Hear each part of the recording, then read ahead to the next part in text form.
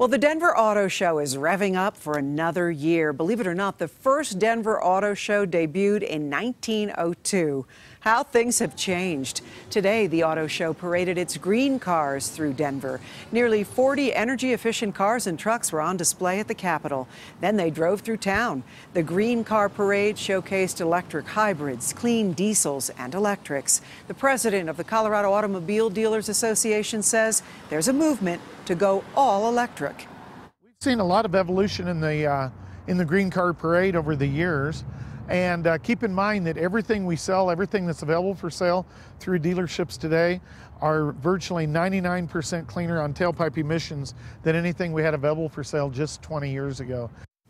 The Denver Auto Show starts Wednesday. If you attend, check out our mobile weather lab that will be on display.